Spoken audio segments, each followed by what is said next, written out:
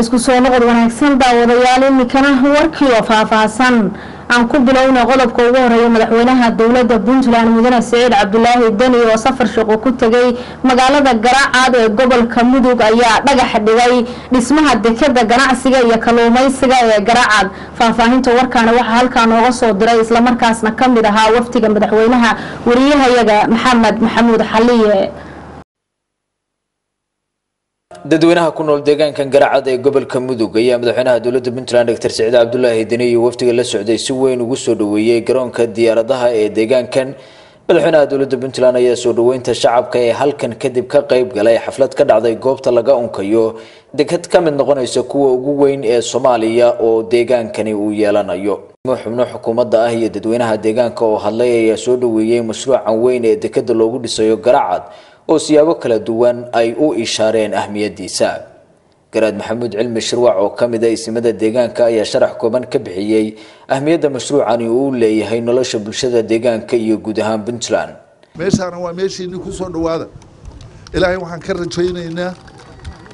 Rabbi waxaan ka rajaynaynaa sida aanu rabno in ay hana qaado dekad weyn oo soomaaliya dekadaha u weyn noqota inay halkan ka hana qaadaan.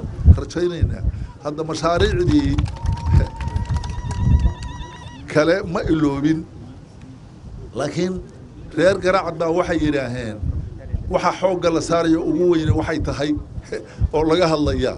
Dekadda iyo arrimaheeda wasiirka wasaaradda dekedaha iyo ilaalada dembiyada badaha puntland maxamed cabdi cismaan ayaa sheegay in wasaaraddu ka shaqaynayso dhismaha dekedaha iyo samaynta shuruucahooda shacabkana looga baahan yahay inay ka qayb qaataan howlaha dhismaha dekedaha.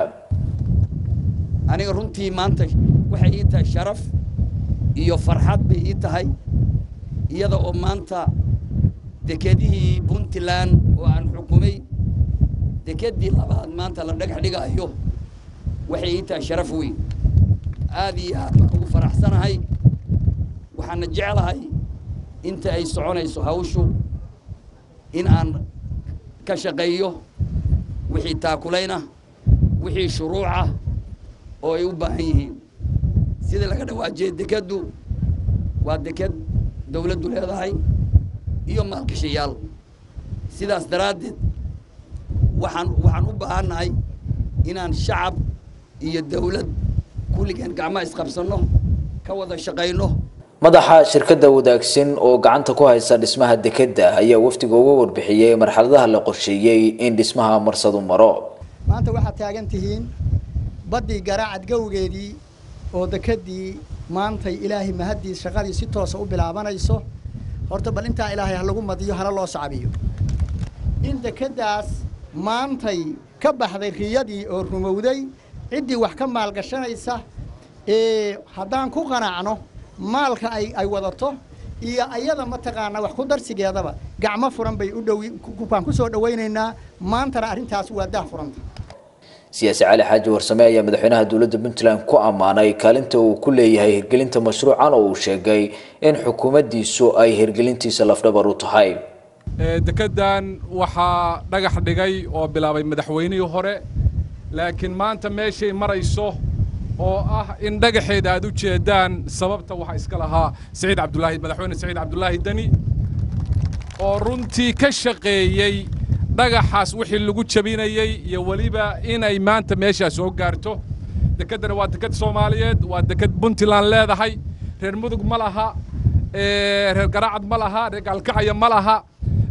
Dekedda asalkeeda waxaa iska leh dowladda puntland iyo soomaaliya maalgeshigeeda qaybta ugu badanna waxay ka timid hanti ummaddu wada leedahay. Aad iyo aad baan ugu faraxsanahay maanta meeshay soo gaadhay. Halkani waa goobta laga unki doono dekedda deegaanka garacad ee gobolka mudug oo noqonaysa mid ka mida dekedaha ugu waaweyn soomaaliya. Madaxweynaha dowladda puntland siciid cabdulaahi deni ayaa halkan iga dambaysa ku tuuray dhagaxa asaaska u noqonaya dekedda waxaana la rajaynayaa in khayraadka iyo adeegyada dekeddani ay noqon doonaan kuwo qayb ka qaata haqabtirka baahida dhaqaale ee guud ahaan puntland iyo soomaaliyaba. Madaxweynaha dowladda puntland doctor siciid cabdulaahi deni ayaa sharax ka bixiyey ahmiyadda dhismaha dekeda garacad uu u leeyahay nolosha guud ahaan bulshada puntland. Muhiimadda dhaqaale ee uu soo kordhinayo mashruucani iyo suuqyada lagaga faa'iidi doono.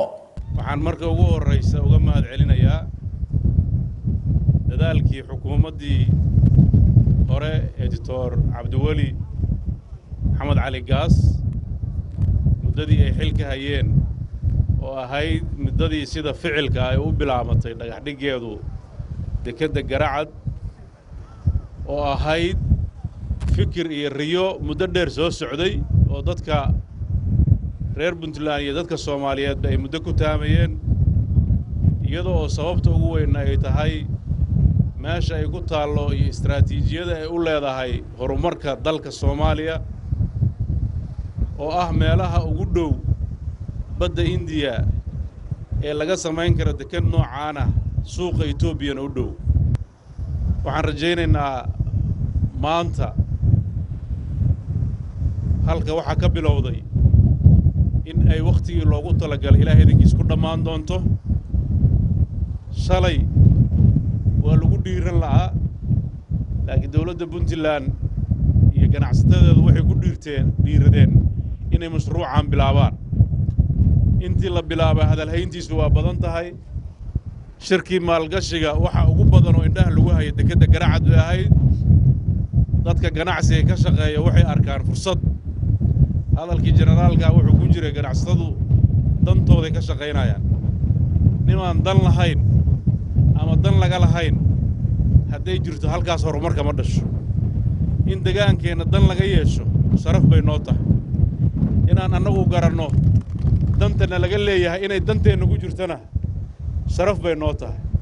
Waxaan rabaa shacabka reer puntland iyo soomaaliyeedba inaan ku dhiiriyo inay soo jiitaan maalgashayaasha caalamiga. Adduunku wuxuu ku tartamayaa sidii dadku maalgashada aad u soo jiidan lahayd. Waxaa lagu soo jiitaa waa nabadgelyo waxaa lagu soo jiitaa waa shuruuc iyo nidaam waxaa lagu soo jiitaa in loo fududeeyo waxa uu rabo waxaan rajaynaynaa inay garacad ay noqoto meel saldhig u ah kobaca dhaqaalaha ee puntland.